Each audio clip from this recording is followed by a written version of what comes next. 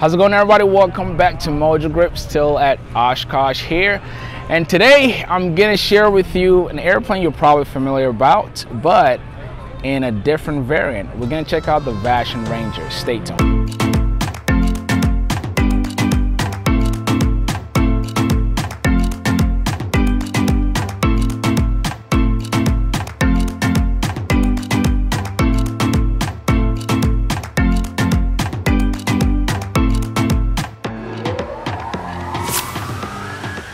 Many of you have requested to review this aircraft. I first heard about it, I believe three years ago, and one was here when I was here in 2018. But this is the first time I'm actually up close and personal with the Ranger.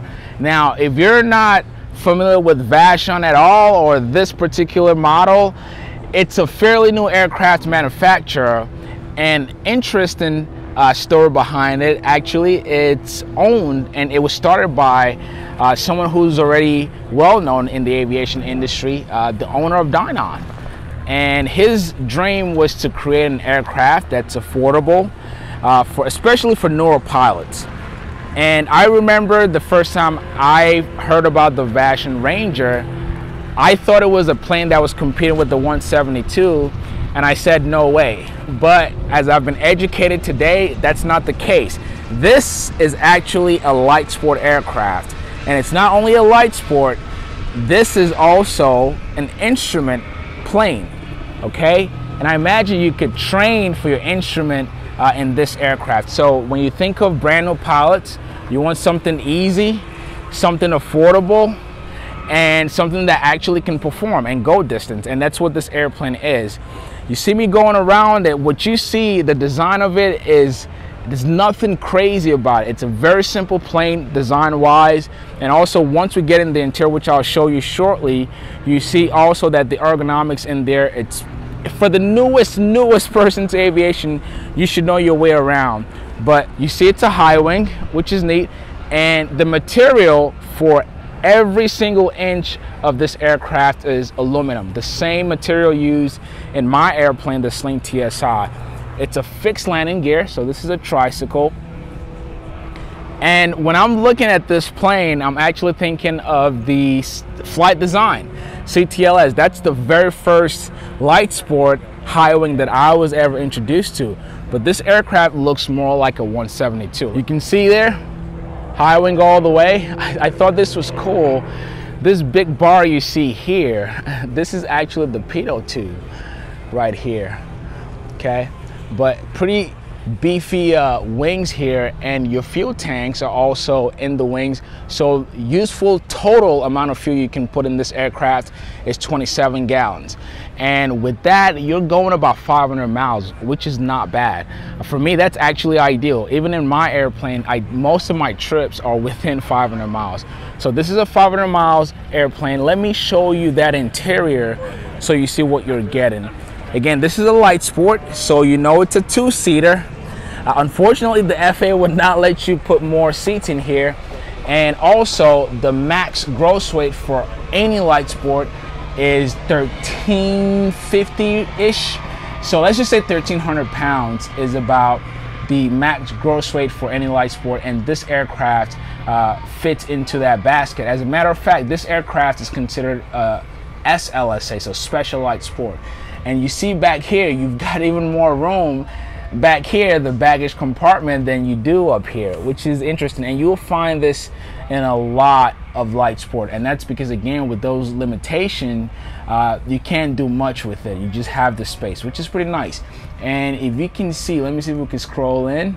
You see right there, it says baggage capacity, maximum 100 pounds. So you can't put up to 100 pounds of load in the baggage area here and let's scroll back out. But this is where the magic happens. Now I'm feeling the seats and they feel very comfortable, guys. Very, very comfortable. So you've got your two seats here, but this is the coolest thing you will find on the Vashon Ranger. Let me see if I can get them to turn this beautiful avionics on. Okay, sorry about that guys. We did have it on earlier, but we lost battery power. But let me sh just show you what you have in this cockpit beautifully designed As I said, there's a correlation with Dynon Avionics and this particular airframe. So what you got is the Dynon Skyview HD dual screen, 10 inches, and I've flown behind this avionics before. The picture quality is really nice. Very, very comparable to the Garmin. Because when you look at this, you're also thinking maybe the Garmin G3X Touch. Uh, and in terms of pixelation, picture quality, and even most of the functionalities, you get that with the Dynon Skyview. But you do have a Garmin here. This is the GTN 650, which is the main uh, avionics you use for your instrument. And you've got some uh, nice switches down here as you can see, I can't even see any circuit breakers in this airplane or maybe just this model. You've got some switches here too, but I just like how neat and clean this panel is. And your rudder pedals, pretty giant rudder pedals down here, very neat. And I'm assuming that this is toe brakes, but very nice, uh, more than enough ample room uh, for your legs.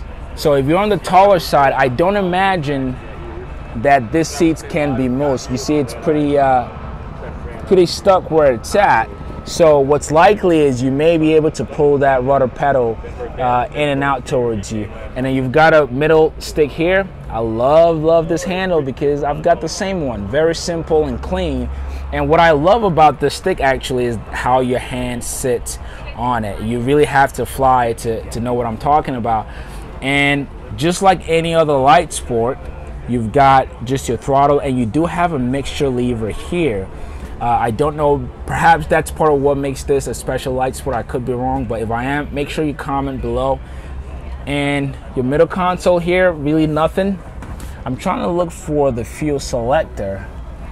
If there is one, I see push fuel on here, cabin heat, cabin heat. I don't see a fuel selector, but there likely is one. Um, but also you've got some nice USB ports to be able to charge your stuff. But very, very clean sheet and very clean design, guys.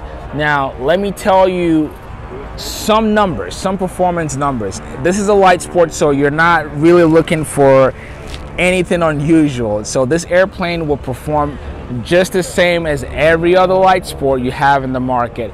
Cruise speed expect 110, 115 knots. Again, the max range in the aircraft is about 500 nautical miles and you've got 27 gallons total. You can do the math there in terms of your fuel burn. So obviously fuel burn also would depend on your power setting. Now, this is the best part about the Ranger. Guys, even I was shocked a little bit when they told me the price. The starting price for this airplane is $120,000. I'm not lying about that. It's 120,000.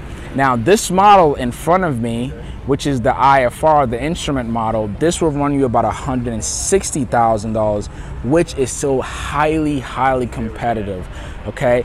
And this is not an airplane that you build, uh, you're not, you know, putting any kits together. This comes ready finished, okay? This comes ready finished and the lead time is about six months from the time you put in your order till the time you get your airplane about six months. So i thought that's also pretty neat. But guys this is the vashon ranger. I hope you all enjoyed the video. If you did please make sure to give it a thumbs up. This is your first time. Make sure to subscribe to the channel. A great way to support the channel is to become a premium member or head on to mojogrip.net forward slash MVP and sign up there. I really appreciate the support, guys, and I will catch you on the next video.